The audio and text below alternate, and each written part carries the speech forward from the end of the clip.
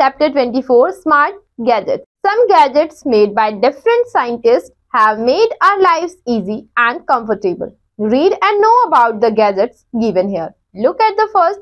The Global Positioning System or GPS was invented by Roger Easton, an American scientist. It used satellite images to print out the exact position of a GPS-enabled device such as mobile phone or a car navigation system. The system came to operation in 1994. The next we have Louis E. Waterman, an American developed a fountain pen in 1884.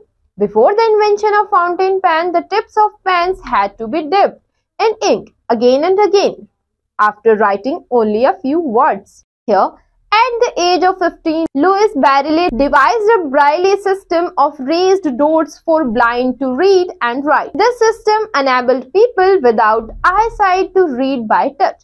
The Braille typewriter was invented by Frank Haven Hall in 1892. In the 15th century, a wooden printing press was invented by a German inventor, Johannes Gutenberg, it was the first machine that could make copies of whole pages of text. Photographic film for the camera was first invented and used by George Eastman. His first camera, popularly known as Kodak, was first offered for sale in 1888. Here, the automated teller machine or ATM was invented by John Shepherd Barron in 1967 and was installed at Barclays Bank of England.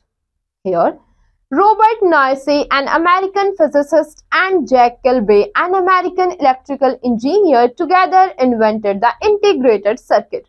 This played a major role in making personal computers and other gadgets which are much smaller and powerful than early computers.